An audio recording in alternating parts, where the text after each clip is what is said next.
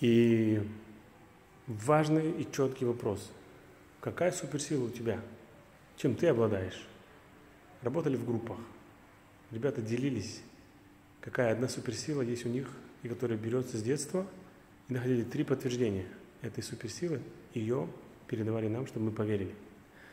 Что получилось? Очень много, очень интересного.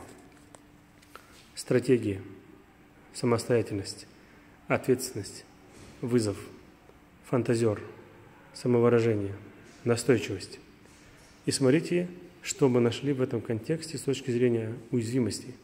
У стратега уязвимость хаос. У самостоятельного – ответственность. У ответственности – самобичевание. У вызова – предательство.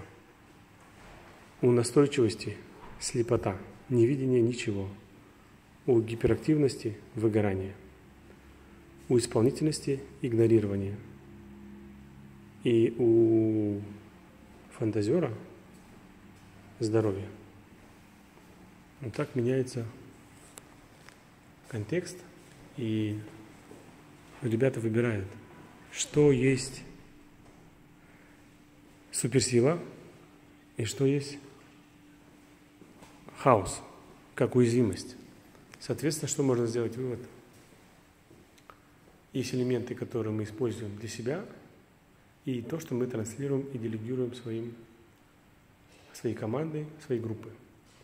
И уязвимость – это всегда вопрос к нам. Что может меня сделать неустойчивым? Какая среда или какая идея? Или сам я? Вот об этом была работа.